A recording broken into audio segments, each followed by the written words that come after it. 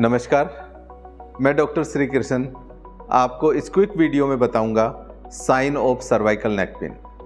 Cervical neck pain किसी को भी हो सकता है, ज़्यादातर ये लोगों को पोस्चर ठीक ना होने की वजह से होता है। पर इसके और भी सिम्टम्स हो सकते हैं, जैसे हेडिक गर्दन में दर्द या स्टिफनेस आर्म या शोल्डर में पेन इत्यादि।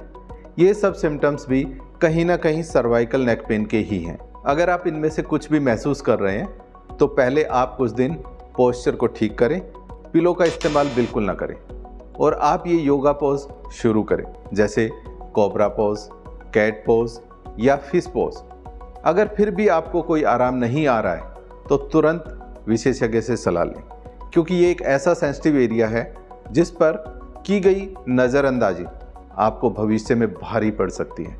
तो खुद डॉक्टर न बने और डॉक्टर से कंसल्ट करें। धन्यवाद।